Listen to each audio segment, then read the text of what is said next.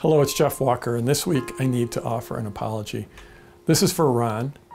And Ron, I'm sincerely sorry that you were so offended when I wore a t-shirt in my video last week and that you felt I looked ridiculous. I put out these videos each week to try to share the lessons I've learned over the years. And I never felt I could offend someone like that, and I certainly didn't want to offend you.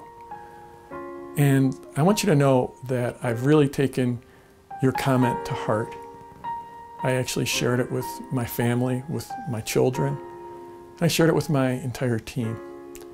And we've taken extraordinary measures of, well, we decided to undergo sartorial sensitivity training for the entire team. And we are also going to implement ridiculousness mitigation strategies so that we no longer look ridiculous, or I no longer look ridiculous in my video. Okay, so can we get real for a second? So I, I love that Ron left this comment that he felt I looked absolutely ridiculous in a t-shirt and that it took away from my messaging.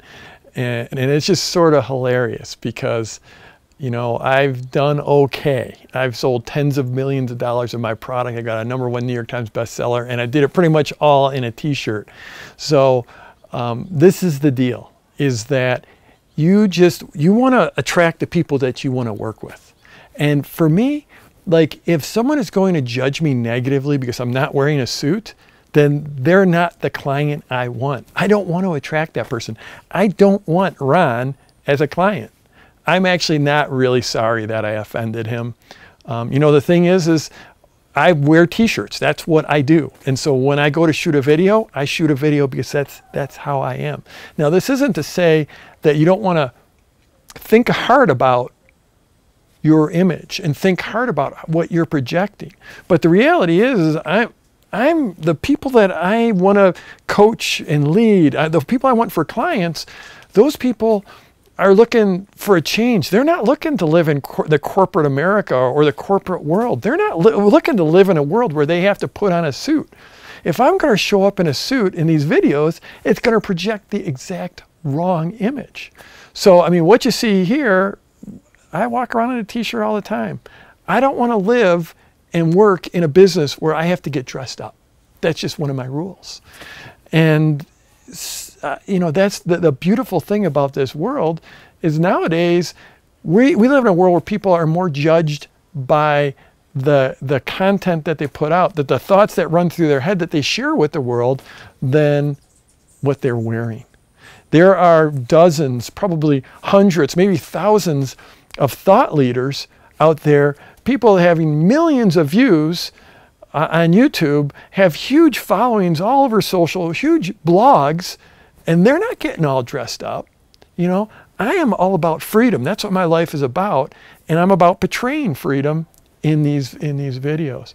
So yeah, I mean, if you're going to sell to like the Fortune 100, and um, maybe you put on a suit, maybe that does impress them. But I'll tell you what, in a, in another month or so, I'm going to be meeting some real high uppity muckety mucks in like some of the most conservative or one of the most conservative industries there is.